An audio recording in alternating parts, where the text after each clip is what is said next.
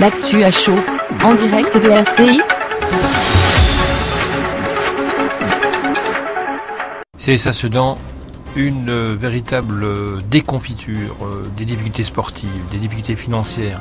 Le CSA Sedan pourrait connaître prochainement un dépôt de bilan. Le CSA reste sur 5 défaites en 6 matchs, relégué à 10 points du premier non relégable. Laval, Sedan a encore son destin entre les mains pour espérer se maintenir sportivement. Le club va très mal au niveau économique. Un repreneur, dès le mois d'octobre, Guy Cotteret, un banquier rémois, faisait part de son intention de racheter l'équipe, puis en novembre, le Conseil général des Ardennes affichait son désir de vouloir acquérir le centre de formation à Bazaille. Une date avait alors été annoncée, celle du 20 janvier, pour officialiser la vente.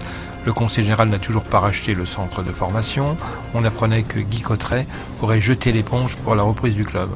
Sans repreneur, Pascal Urano, actuellement président, serait donc obligé de déposer le bilan. Une telle action entraînerait une relégation, non pas sportive mais financière. Beaucoup de supporters craignent la descente en nationale. Or, le club risque, en cas de dépôt de bilan, de se retrouver en CFA 4e division, voire en CFA 2, 5e division ou même en division d'honneur, 6e division, vu l'état des finances du club. Une mauvaise nouvelle pour tout le département avec des licenciements en perspective.